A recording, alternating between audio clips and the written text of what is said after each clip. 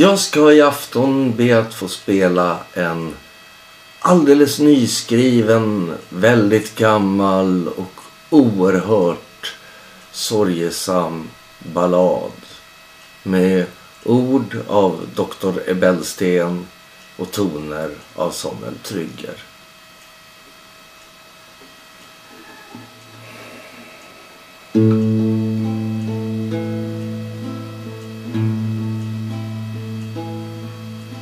En sorgesam historia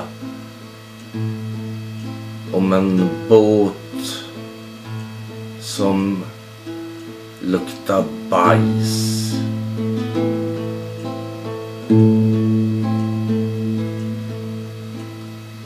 Jag vill för er berätta en historia om en båt som råkat ut för vissa incidenter.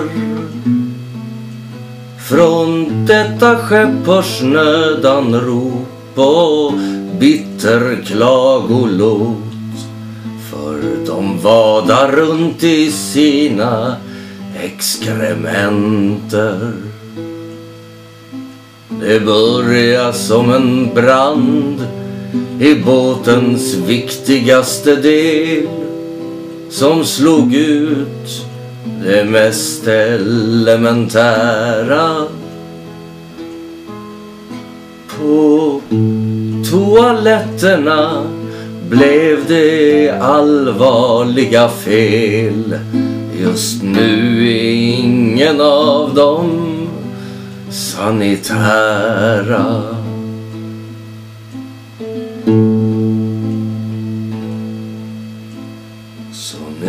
Täcks båten av en räligt stinkande odör som får passagerarna att kräka.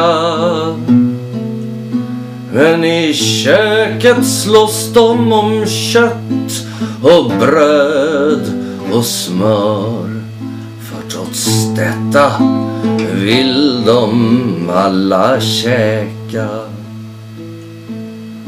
En rederiet har nu gett dem en hjälpande hand. Snart är de framme i Sweet Home Alabama. Då ska alla tusental få äntra land och då blir det slut på detta skeppsbrottsdrama.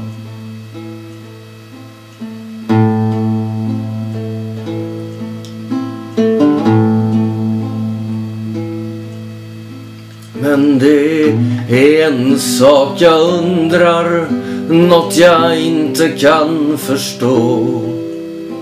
Om det nu är stopp i toaletten.